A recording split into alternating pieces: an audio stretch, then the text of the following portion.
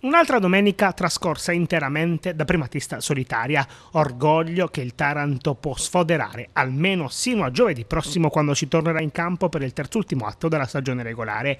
Per il momento il girone H del campionato di Serie D sorride ancora agli ionici, vittoriosi in rimonta su un Arcigno Francavilla Insini davanti ai 9.000 spettatori dello Iacovone. Successo più difficile del previsto per il rossoblù di Aldo Papagni, sotto di un gol alla mezz'ora del primo tempo tempo, ma capaci di riequilibrare le sorti dell'incontro già prima dell'intervallo con il solito Molinari. Il gol che decide la partita invece arriva ad 8 minuti dallo scadere e lo realizza D'Angelo. Il Taranto dunque continua a vincere, le antagoniste però non mollano di un centimetro, ovvio il riferimento a Matera e Turris, appaiate in seconda posizione a meno 3 dalla vetta, ma anche con una gara in più da giocare rispetto agli Ionici.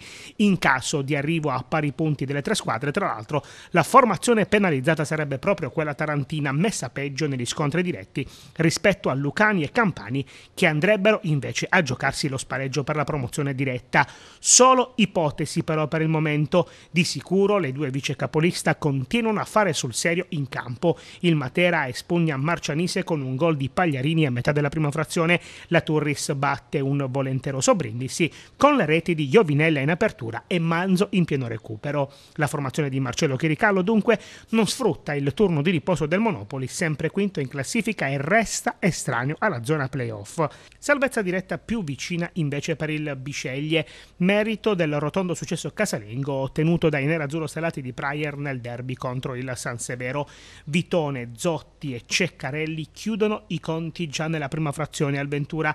Gli ospiti accorciano in apertura di ripresa con Covelli dagli 11 metri. Lo stesso Zotti poi firma il poker biscegliese e la doppietta a livello personale. L'altro derby made in Puglia della 31esima giornata lo vince il Manfredonia che al Miramare supera con il più classico dei risultati il Grottaglie grazie ad una doppietta di Rafael Carminati. Tre punti d'oro per i biancocelesti in chiave salvezza diretta. Giovedì dicevamo si torna in campo per il turno infrasettimanale della 32esima giornata. Questa volta sarà il Taranto che resterà a guardare in virtù del turno di riposo. Le antagoniste scenderanno regolarmente in campo. Il Matera ospiterà il Metapontino, la Turris farà visita ad un San Severo alla ricerca di punti preziosi per evitare i play-out.